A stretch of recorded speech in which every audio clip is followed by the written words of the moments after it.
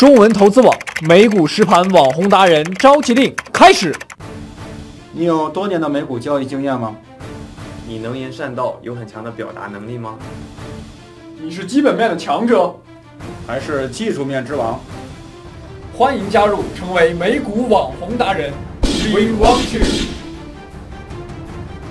中文投资网美股网红达人召集令，报名唯一，微信温润王二零一六，下一个 Jason、Brian、Will 就是你。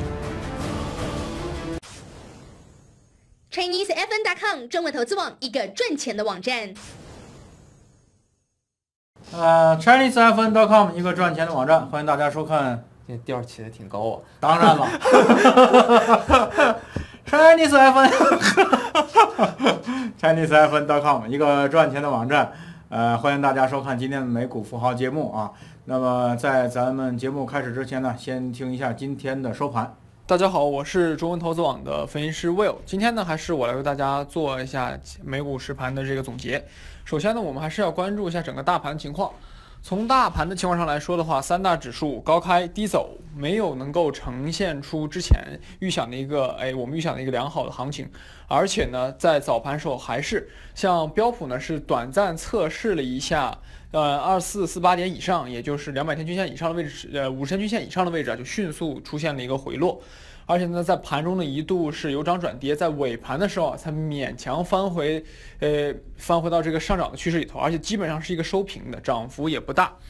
从目前的这个盘面上来看的话，现在呢多方显得非常的谨慎，并没有足够力量向上推动，呃，标普呢实现一个突破性上涨的行情，这也是这也是现在，呃，比较面临一个尴尬情况。而且呢，这两天的波动啊，实际上是在八月二十二日这个。呃，整个的一个大跌的波动区间里头进行波动的，所以说从目前的这个波动性来讲的话，也没有呃出呈现一个放大趋势，也就是说现在实际上美股市场呢还在进行一个方向性的选择，但是这个方向性的选择是朝哪里选，我们现在还不能够提前进行预知。另外的话，在盘后呢出现了一条重要新闻，就是呃日本方面啊对朝鲜连续发射导弹。进行了一个强硬的表态，而且这个表态的反弹力度非常强，导致大盘的期指啊在盘后出现了一个大幅度的回落，这也这也是对明天的这个美股市场形成了一个压力因素所在。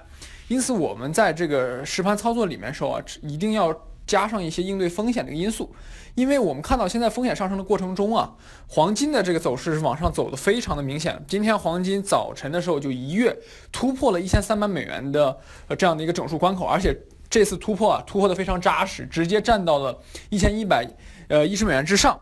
因此的话，我们从技术图形上来看，黄金下一个阻力点位是在一千三百四十到一千三百五十一线，这还有一个比较明显的上升的空间。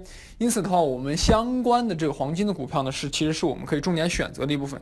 像我们呃美股实盘网红直播这个老师啊，就在上周五的时候，基本上都已经纷纷开仓了黄金的股票。就是已经看到了黄金在之前，呃，想进行突破，但是缺乏一个决定性的力量的这个时机。结果呢，上周五一加，这这周一呢就直接涨上去了。这个时间点啊，把握的是非常的精准。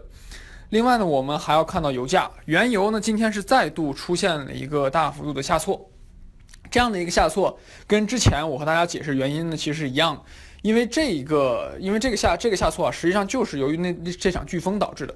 飓风呢是席卷了整个德克萨斯州，导致德克萨斯州的大部分的精炼厂呢停产。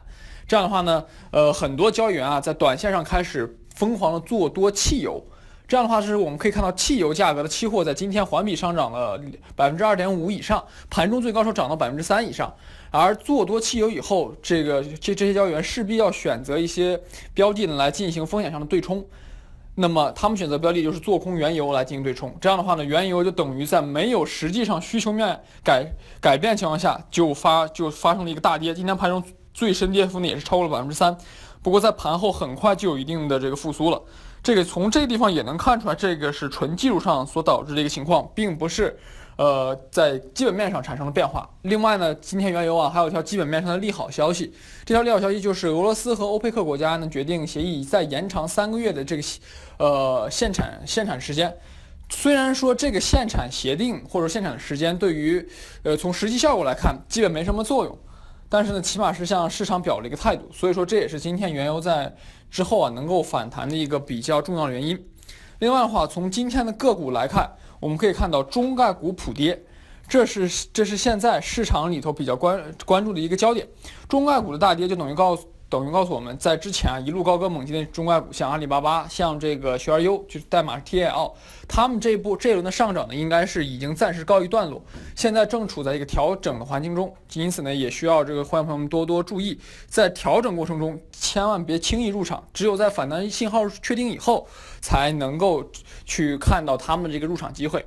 另外一个生物制药板块在今天呢得到了一个非常强的提振，因因为这个比较著名的这个医药厂商啊，GILD 一举宣布收购。KIT，而且呢，也是是等于纯现金的收购，因为之前我们知道，GILD 它从药品的研发的角度上呢，已经实际上是落后于跟它规模和程度类似的像 BIB、像 AMGN 这样的股票，但是它的一个优点就在于它手中握有非常多的现金，它并不需一定需要自己研发药，它只要及时有一个收购，就等于把另外一边的这个专利能够拿过来，这样的话呢，就能够补充自己的产品线。所以说呢，它这一次的这个收购啊，可以说是这样的战略的一个实施，而且呢，导致了 KIT 的股价呢一一路飙涨，今天涨了将近百分之三十，直接逼近了一百八十美元。所以说之后的这个行情，我们还是可以继续关注。以上呢就是今天的美股收盘内容，谢谢大家收听。好的，听完咱们收盘呢，这个估计预这个录收盘的时候还没发生这个事儿吧？录收盘，就是我刚才录的啊呃，魏魏耀老师录的没有？还没啊，还没发生这。事儿。但是呢，魏耀老师录完这个事儿之后呢，这个三胖就配合了一下，这个发了一枚那个导弹啊，发了一枚导弹，而且这枚导弹呢，在前面三颗导弹失败，两颗失败，一颗半路爆炸的情况下呢，这颗呢成功了啊，成功的飞越了日本上空啊，这个。呃，当然了，这是好像是消息出来，但是呢，最终落实不落实，呃，还有一个呃问号啊。那么这个我估计啊，今天啊，咱三三点啊，一个一个导弹飞过去的问题啊，有我感觉三点。第一点呢是这个三胖说了啊，别飞了，没设计飞那么远，到日本就行。这个我我预计啊，它的它这个射程准度精准度可能还达不到这个水平，就是要不然飞飞不到，要不然就飞过了，可能火药蓄多了。也许是往韩国打的，结果打反了。呃，这是一个问题啊。再有一个问题呢，三胖呢会看图，嗯，呃，三胖会看图。三胖呢估计啊，呃，开了这个股市的期指，开了这个 UVXY 的多 option，嗯，也也可能呃。对对，直接就五十五倍就上去了。对，呃，option，然后呢，开了黄金的这个期货，嗯啊，预计他是这样的，然后他是他想了，我怎么也得把我这个做导弹的钱挣回来啊，这是第二个感想啊。第三个感想呢是说，这个为什么部署在南韩的萨德系统没有反应？嗯啊，为什么部署在这个日本的这个美国在那儿的驻军对这个导弹没有反应？啊，这是一个问题。所以说呢，这个刚才我跟温晓校长我们俩人说，我说啊，这个点对点那个事儿太难了，太难了。你想想得多精准呐，它才能够半半途上拦截一个高速高速飞行的这么一个点。所以说呢，呃，这事儿说着挺神乎其神的科技的，但是我个人感觉这事儿实实验起来，我发他说了啊，我这拦截系统那个成功率达到百分之九十，那行了，给你发十个核弹，你漏过去一个你也受不了啊，对不对？所以说呢，我个人呃对这个这这个事儿，突然间就是跟校长聊天儿什么的，反正就有这么三个感想啊，有这么三个感想。呃，三胖儿有点儿有点儿 玩死枪那感觉，没准儿今天晚上美国就派兵了啊，这个也没跟啊，也没跟。而且呢，这个昨天我看了一，昨天是前天看了一篇文章，说三胖现在怕暗杀，然后呢，说是前克格勃的特工，现在贴身保护他，啊，贴身保护他。当然不知道是前什么国？克格勃呀，克格俄俄罗斯的俄罗斯的间谍组织，嗯，啊，然后那个呃有这么一条消息，所以说呢，呃，嚯，黄金，嚯，我让我让我慢，我有点接受不了，黄金一千三百三了，我是说一千四可能得运行个两个月多长时间，现在三十点就上去了啊。行，咱们在这个嗯，咱们简单说了一下这事儿啊，还是让波尔老师呢给大家介绍一下今天的盘面走势吧。我也不不介绍了，刚才魏老师说了一遍，我刚才录完收盘，大家可以回去看收盘，要不收盘白录了。呃，我们就直接说说重点就行了。嗯。呃，这个黄金，我们呢，嗯，很早就埋伏进去了，还是是终于是上来了。然后今天呢，黄金涨了这么多，然后我们重仓这个也不是重仓，就是我是重，你重仓啊，你重仓。但是我没在实盘喊。对，呃，Jason 老师重仓的这个 NUGT，我们现在就可以说代号了。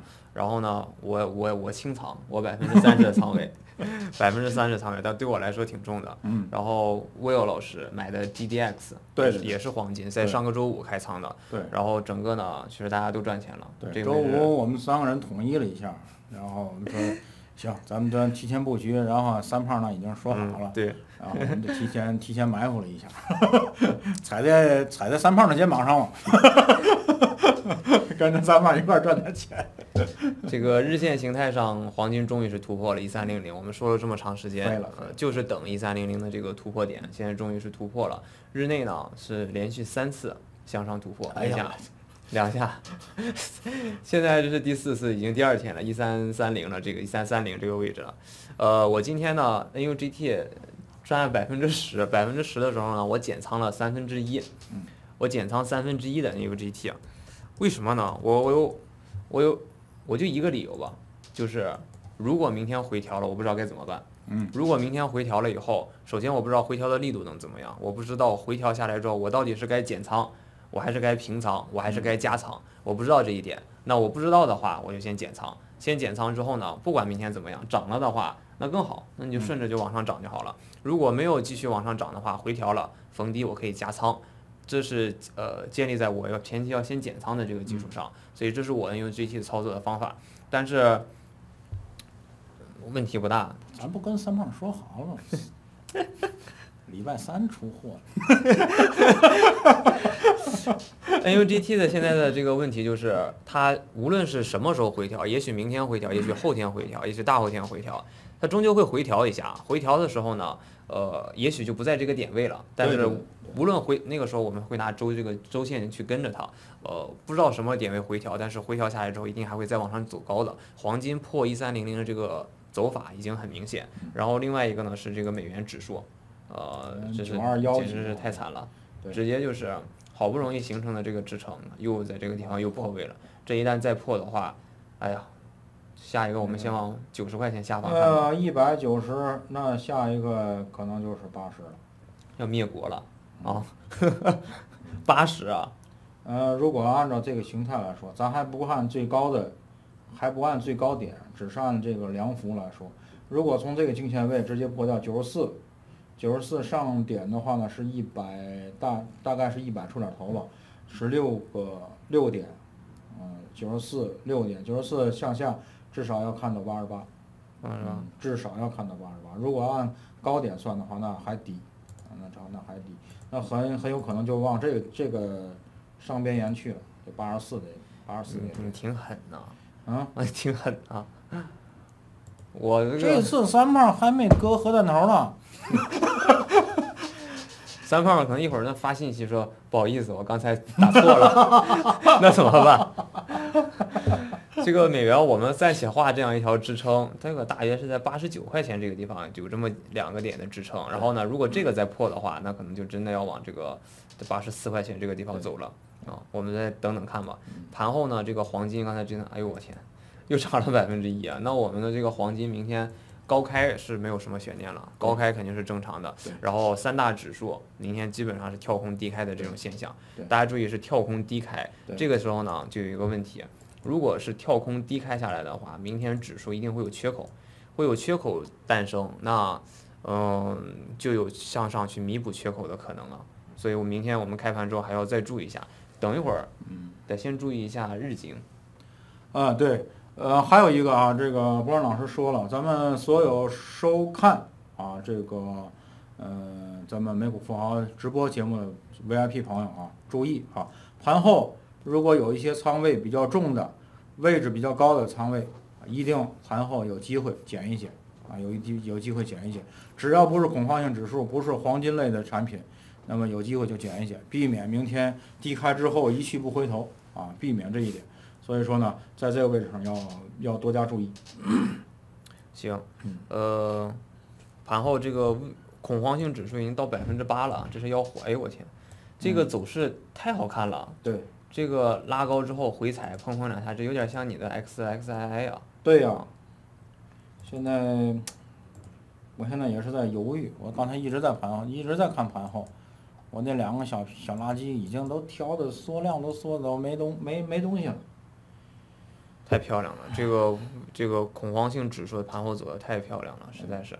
如果大家做期指的话，这个盘后这是都可以做日内交易，短线很快的。对对对，哎呀，纳斯达克今天好不容易涨了百分之零点二三，在盘后期指又是呈现一个下挫的状态。哦，我们看一看吧，纳指的期指在五千七百五十点这个地方有一条支撑，看看能不能撑住。呃，然后从这个呃整体的方向性来看呢，纳斯达克的期指还是围绕着一个上行的通道。嗯、我们看一看这一次上行通道能不能给破掉？你说这一次能不能破掉？嗯，总的来说时间稍显得还是早了一点点，还是早了一点点。嗯嗯直接破掉的概率，五千五千七百吧，五千七百点附近。嗯所以纳指呢还是在一个很漂亮的上行通道里，我们看看明天呢能不能给破掉。呃，最主要的是看看这个日经还有韩国指数，就包括中国，大家他们是怎么处理的，别弄成一个恶性循环，到了美国这儿就完蛋了。对对对对对。所以说还是那句话啊，看咱们直播的朋友啊，嗯、有高价位的，位置比较高的啊，有仓位的朋友，适当的要减一减啊，适当的要减一减。UXY 简直是都疯了，对，盘后风。本来今天还有点点要往下走的意思。对对对，今天我还看我我说哎，我说这个态势基本上差不多了，嗯这个大盘也该弹了，然后这个呃 VUXY 的话呢，在这个位置上已经开始大盘横 UXY 开始损耗了，已经看到这个苗头了。结果呢，这个三胖在关键时刻踢了一脚。全部重挫呀。行吧，明天我们看看。其实今天盘后这么一弄的话，今天一天的行情都白走了，没什么没什么行情。然后所有的这个华尔街的是你的数据啊之类的，全部再打乱重新来。我，明天再再再继续关注吧。对对对，嗯，呃，这个，哎，也没什么了，就数钱吧，明天。明天数钱吧，啊明天数钱。这个还是提前布局吧，总总体感觉，嗯，也确实没什么可说的，确实没什么可说的。今天苹果九月十二号定了是要开发布会，然后嗯呢出新的品种。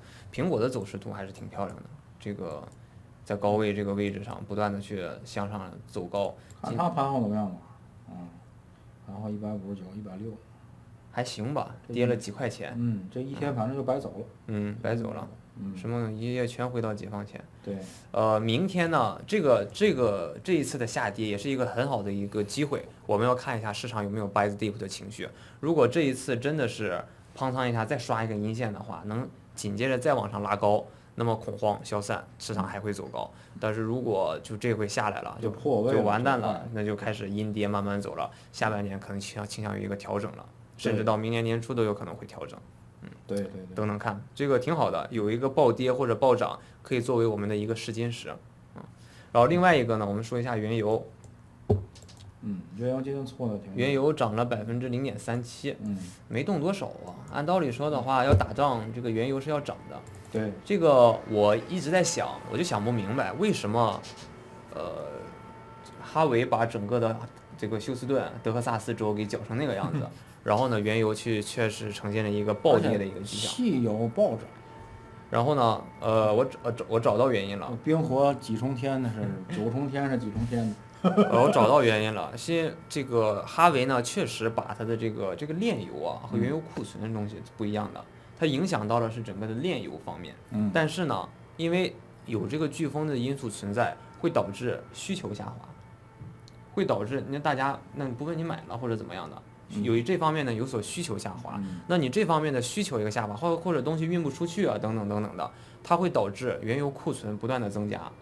原油库存一个增加的话，预计哈，呃，数具体数据我记不太清楚了，但是呃，根据最新的数据，上个周涨了七十七万桶，上个周一周，呃，预计会每天增加一百到两百五十万桶之间。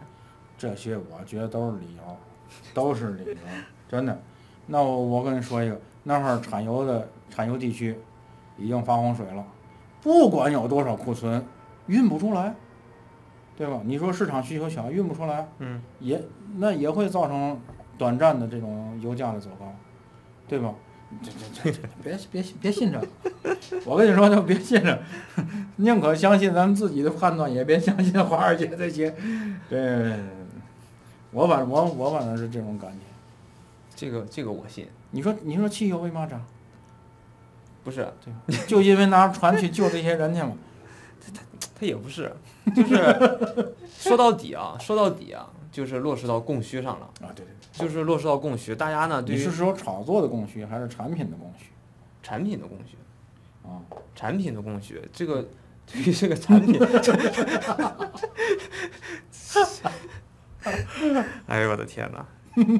嗯，你是兵，我是秀才。